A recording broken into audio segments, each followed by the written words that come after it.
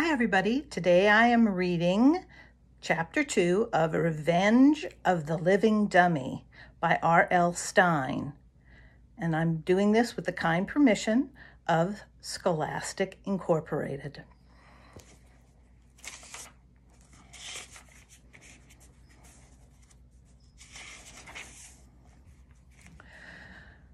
Two weeks earlier, I had other things on my mind. I wasn't thinking about the old graveyard down the street. I had other problems. Well, one big problem, and his name was Ethan. Ethan is my cousin, and it isn't nice to hate your cousin. So let's just say he's not one of my favorite people on the planet. I like to make lists. And if I made a list of my top 5,000 favorite people in the world, my cousin Ethan wouldn't be on it. Get what I'm saying? It was almost dinner time on a Friday night, and I was perched on the edge of my bed in my new bedroom. Why did I have a new bedroom?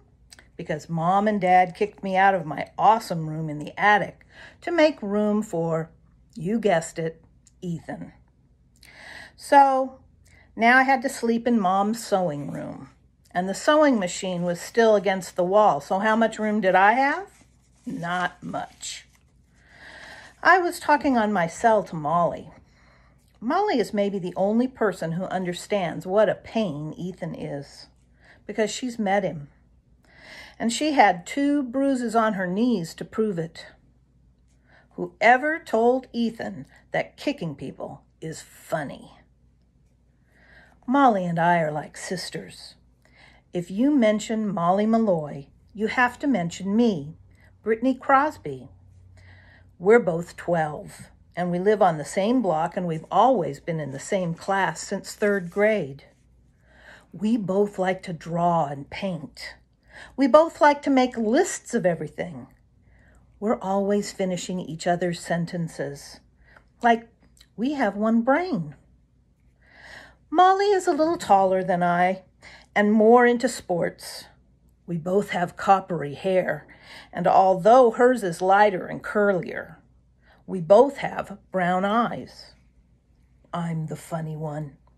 It's hard to make Molly laugh. I think she's more serious than me because her parents split up and she lives with her dad. He travels a lot and is kind of a flake. So she feels like she has to be the grown up in the house. Obviously, I've thought a lot about this.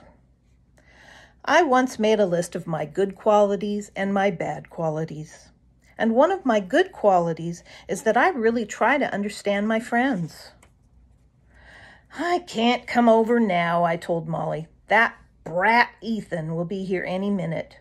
Dad went to the bus station to pick him up. Molly groaned into the phone. Maybe you'll get lucky. Maybe he'll miss the bus. Why is he coming to stay anyway? His parents had to go away or something, I said.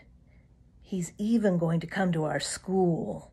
I think he's in third grade. He is such a sicko, Molly said. Maybe you should move over here until he goes. I rolled my eyes. Like my mom would go for that. She knows you hate him, Molly said. I'm supposed to feel sorry for Ethan because he's had such a tough life, I said. You know, his parents were both sick for a long time and they didn't pay any attention to him. Molly shook her head. Yeah, I remember. I groaned.